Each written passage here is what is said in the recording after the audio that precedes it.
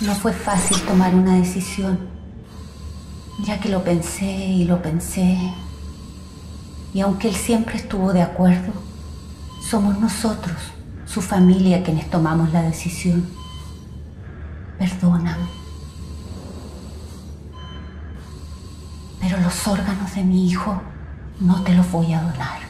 Con el objetivo de seguir promoviendo e incentivando la donación de órganos y tejidos a nivel nacional, Salud organizará el segundo Premio Nacional de Periodismo por el Fomento de la Donación, Augusto Hernández Mendoza. Lo que se busca es reconocer la labor periodística en la divulgación y sensibilización social de manera responsable sobre la importancia de la donación para salvar vidas. Con esta iniciativa, el Seguro Social pretende reconocer el esfuerzo de hombres y mujeres de prensa, radial, escrito televisivo y de Internet, por los trabajos que puedan ayudar a que las personas rompan los mitos y cambien la idea equivocada que tienen sobre ser un donante voluntario. Pueden participar periodistas de un medio de comunicación o independientes, y los trabajos deben desarrollarse de manera individual hasta el 22 de septiembre. Este año el concurso lleva el nombre de Aliados para romper los mitos de la donación.